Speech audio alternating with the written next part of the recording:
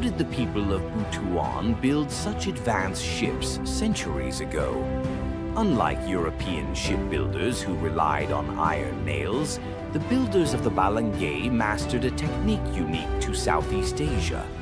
They carved planks with exact precision, drilled holes along the edges, and fastened them with wooden dowels.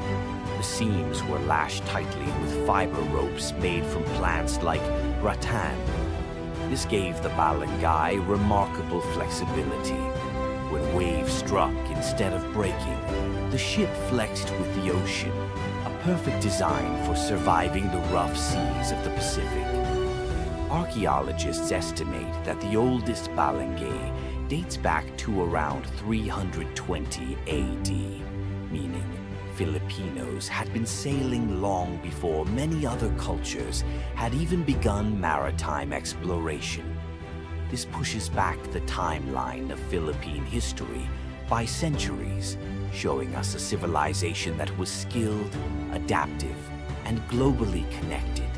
But the Balangay was more than just wood and rope.